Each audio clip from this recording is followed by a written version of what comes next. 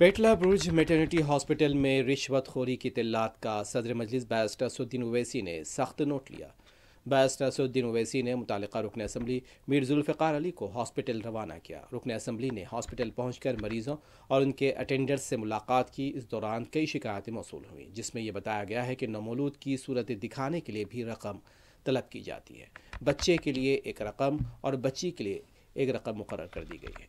रुकन असम्बली जुल्फ़ार अली ने इन तमाम शिकायतों का सख्त नोट लिया है। मुतल ड्यूटी डॉक्टर्स को इन शिकायत पर तोज्जो दिलाई उस पर बात पर ज़ोर दिया कि रिश्वतखोरी के इस चलन को बंद करने के लिए फौरी ठोस इकदाम किए जाएँ। ड्यूटी डॉक्टर्स ने तयन दिया कि आइंदा से इस तरह की शिकायतों पर सख्त कार्रवाई की जाएगी।